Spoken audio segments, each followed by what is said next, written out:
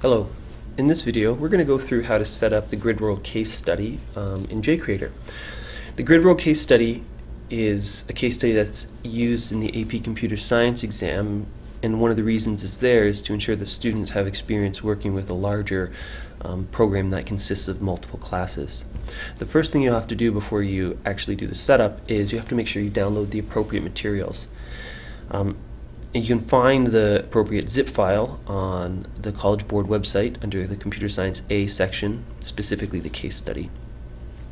Um, just a point, uh, the GridWorld case study replaces an older case study called the Marine Biology case study. Um, if you're preparing for the AP exam and you're looking at old exams, you might come across um, the AP Marine Biology case study.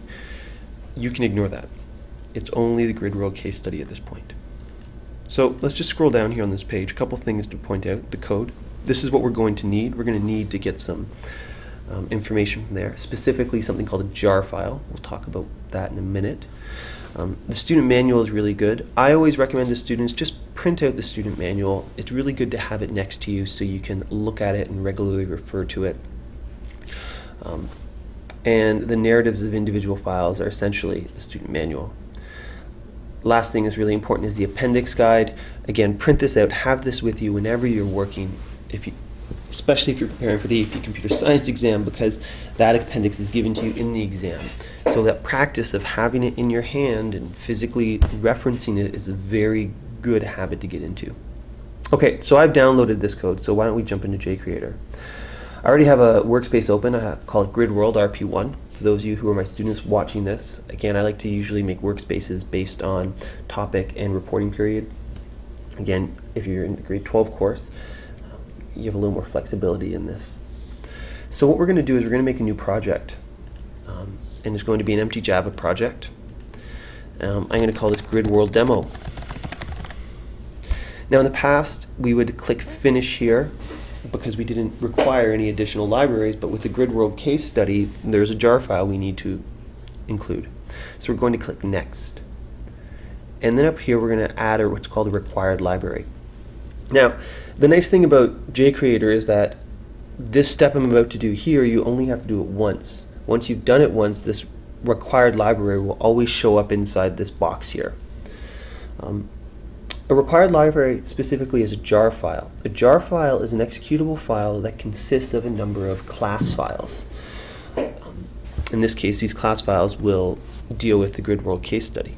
So we're going to click New, um, and I'm going to add a new one. We're going to call this uh, Grid World.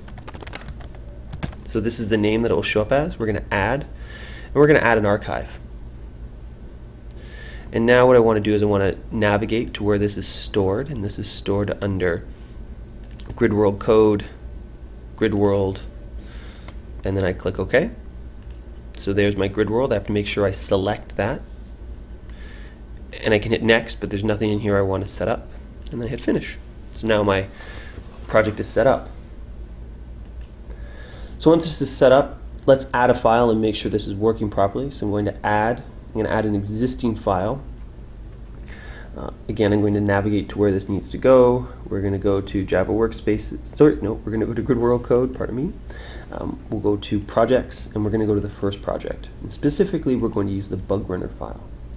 The convention that's been set up is that any Java program that has an, a main method in it is called runner. This is not a requirement, but it's something they do just to, to enforce consistency.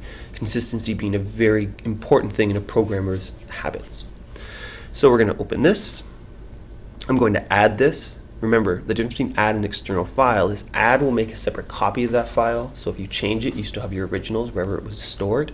External file just makes a link to that file. So external files, most generally speaking, unless you can come up with a rationale why you don't want to use an external file, because at this point, we always like to make a copy of the original file because in this case, we're going to modify it a number of times. So we're going to click Add.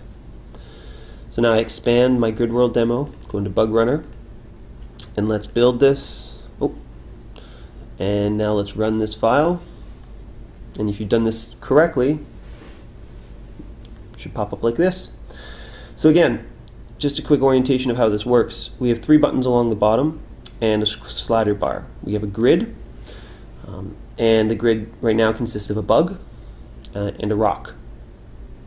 We also have some a bar along the top, but we're not going to worry about that right now. The essential oh, functionality of this is every time I hit step, each actor on the grid is going to take a behavior. So I'm clicking step here a number of times. If I want to simulate step being pressed numerous times, I can actually click the run button and then I can adjust how quickly it changes. So a little faster, you can go really fast, or you can go really slow. Stop, stops the process. You can actually click on the grid and add things. So if I click here, I can add things like, I can add an actor, there's an actor. I can add a flower, I can add a rock. If I then go and click on the, the actor, I can then do different things. I can I can change the color. Let's set the color, and we're going to set the color of this actor to, oh, it's already blue. Let's make it, there we go. So now change the color of this actor, and we step through this again. Again, initially what I recommend you do is play around with the functionality of this, get a feel for it, get comfortable with it, and we're going to go and explore this grid world case study and do some pretty interesting things. I hope this helped.